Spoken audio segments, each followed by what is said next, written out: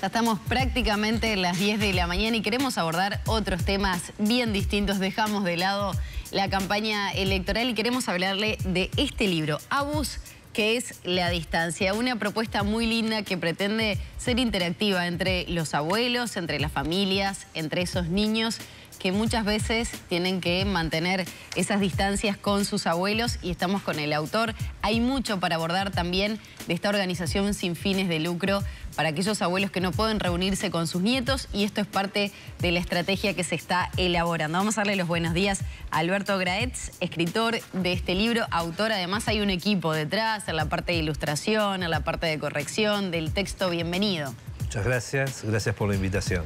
Bueno, atraviesa una historia personal sí, sin duda es, este mi historia de vida. De la realidad de muchos uruguayos. De muchos. Que por diferentes circunstancias han tenido que emigrar.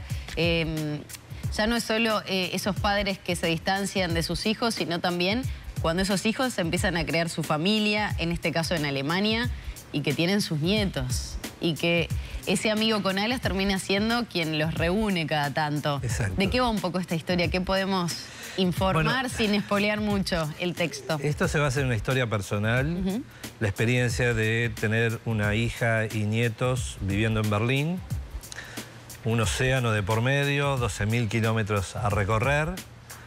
Y bueno, un poco lo que tú decís, hay esa, distancia que de alguna forma hay que tramitarla, hay que llevarla día a día. Y lo que parece ser este, algo un tanto dramático, eh, con el tiempo hay que buscar la forma de que se maneje con amor, con ternura y hasta con humor. Entonces, bueno, el libro trata eso, ¿no? Parte de la, de la partida de esa hija, de su casamiento, eh, del nacimiento de los, de los nietos. ¿Y por qué, traes de, por qué traes de un libro, Alberto? Bueno, el libro surge, eh, en realidad, esto surge en el 2020 con la pandemia, Em, no, la idea no era un libro, simplemente con la pandemia, con la soledad, el miedo, el miedo a la soledad y la distancia, hizo que me sentara a escribir como tantas veces me sentaba hace más de 50 o 60 años a escribirle a mi novia, que hoy es mi señora, y bueno, eran cartas que terminaban en general en un cajón, guardadas. Entonces, avanzando, pensé que estaba escribiendo acerca de algo que había modificado mi vida, de una experiencia muy fuerte. Entonces, ¿por qué ser tan egoísta de guardarlo en un cajón? A eso, sumándole que hay una cantidad de gente que estaba viviendo la misma experiencia, todos tenemos algún vecino, conocido, familiar que tiene hijos y nietos en el exterior, ahí surgió la idea de decir, bueno, voy a avanzar, eh, ¿por qué no hacer un libro de esto? Y bueno, me llevó cuatro años. Claro. Alberto, y esto pasa a ser un aliado fundamental. Absolutamente, porque el avión del cual... Porque hablabas de las cartas de otra época, ¿no? Exacto. Con el tiempo que demanda, llevarla al correo, que llegue al destinatario, que la pueda leer la respuesta de nuevo. Bueno, el celular ha sido un aliado para esas familias que tienen que mantener la distancia, el vínculo, la comunidad. Noticias que se dan por acá. Sí, yo creo que, es, uno de los, de los puntos altos en, los que la, tecnología nos ayuda, ¿no? Si bien en otros puede ser negativo, pero en este caso ha sido un aliado y es un aliado muy importante. Porque el avión ese que va y vuelve, eh, que cuando va a, reunir a la familia tiene cara, una sonrisa, y cuando vuelve, vuelve con cara triste, es amigo de algunos abuelos, no de todos. Pero la pantalla está siempre ahí. Mal que bien alguien puede acceder a una pantallita de celular, de iPad, en fin, de un notebook.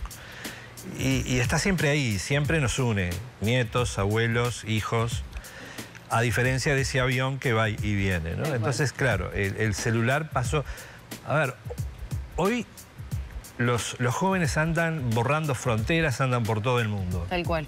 Se casan, tienen nietos, arman su familia y nosotros los padres nos convertimos en abuelos mirando una ecografía en un, en un celular. Esa es la realidad. Entonces... Alberto, contanos un poquito de, esta fundación sin fines de lucros que, tanto tiene que ver con, con, el libro, con poder colaborar con esas familias que tal vez no cuentan con esos recursos y que este libro va a ser fundamental para colaborar con esa causa. Así es. Eh, cuando yo terminé la escritura me hice una pregunta. ¿Qué me dejó escribir.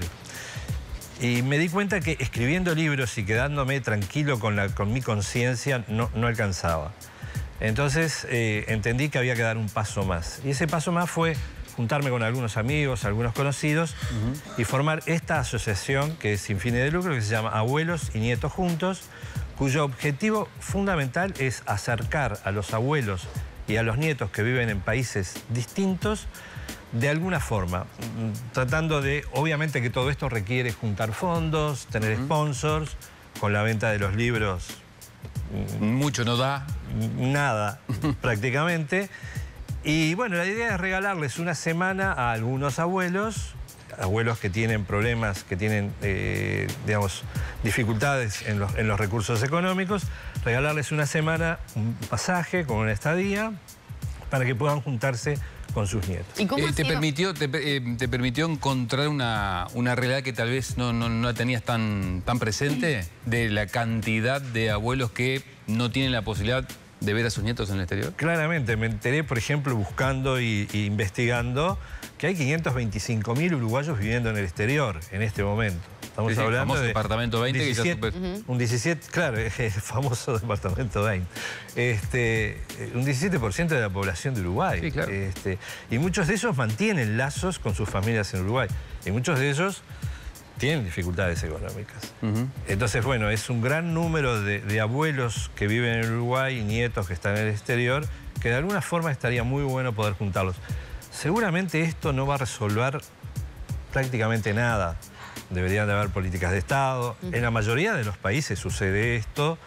Eh, pero bueno, si podemos regalarle una sonrisa durante una semana, aunque sea a dos abuelos, Alberto, claro, no, no, mueves la aguja, no mueves la aguja en lo general, pero sí para el caso particular le cambias la vida. Claro, es un 100%. Alberto, eh, ¿y, cuántas personas se han acercado a partir de esta iniciativa? Y si ya tuvieron la oportunidad de acercar a abuelos y nietos. No, Todavía no. No, porque estos libros salieron el 9 de, octubre, o sea, estamos hablando de 20 días atrás. La asociación está en formación y tenemos que buscar la forma de acercarnos a esos abuelos seguramente va a ser... Esta, esta, es una oportunidad y ahí están las vías de comunicación. Bueno, bárbaro. Y, desde ya muy agradecido. este, pero la forma de que los abuelos se enteren a través del Banco de Previsión Social, Hábitat, las redes de cobranza... Eh, pero bueno, estamos en un momento un poco crítico desde el punto de vista del cambio de gobierno y, bueno, no, hay cosas que no las podemos hacer pero ahora. si consultas llegan. Sí, sí, claro. Sí, sí, eso sin duda. lo importante es que lleguen consultas con sponsors que puedan... ¿No? Bueno, ese, es el punto. Ese es el punto, porque las ganas están, la voluntad está, los libros están. Falta eh, generar un ámbito eh, de concientización de algunos sponsors que puedan aportar, eh, que tampoco estamos hablando de cifras tan importantes, pero por lo menos para dar el puntapié inicial y arrancar con esta idea. ¿Hay alguna historia que te haya llegado a lo más profundo de, bueno, de los que empiezan a acercarse? Tal vez abuelos que no conocen a sus nietos, que ya son adolescentes, eh, hijos que hace mucho tiempo que están en el exterior, que no se han podido reunir. Ahí hay, por llamar de alguna forma, un segundo libro que se llama Super Kika y sus ayudantes, dos puntos, la misión, en donde se mencionan algunos ejemplos de esas distancias que se dan. Eh, y bueno, de, una señora de 84 años que el hijo le mandó un pasaje para que fuera el cumpleaños de 15 de su nieta, que, no, la conoce físicamente, ¿no? por ejemplo. Entonces sí, hay historias que atraviesan. Muy, debe, de haber, debe de haber abuelos que ni siquiera se han subido a un avión. Bueno, en este caso, Claro. ni siquiera saben lo que es un avión, subirse a un avión, tener esa experiencia, y mucho menos eh, conocen a sus nietos por esa pantallita, ¿no? Entonces, Creo que vale la pena hacer el esfuerzo este, y bueno, creo que la suma de la gente aporta. Alberto, queremos agradecerte por haber venido, felicitarte por el trabajo y sobre todo imagino que tantos abuelos deben estar agradecidos por el trabajo que venís realizando con esta bueno, fundación, con, con, esta idea de poder colaborar y reunificar a esas familias, ¿no? que se puedan reunir después de años sin conocer nietos y demás. Es un trabajo fundamental. Muchas gracias. Por favor, gracias a ustedes por darme la oportunidad de, estar aquí y bueno, tratar de divulgar esto. Muy bien, cerramos por aquí la entrevista con Alberto Graetz, escritor del libro Abus, que es la distancia, y allí tenía las vías de comunicación también para dar cuenta de esta asociación civil sin fines de lucro que se llama Abuelos y Nietos.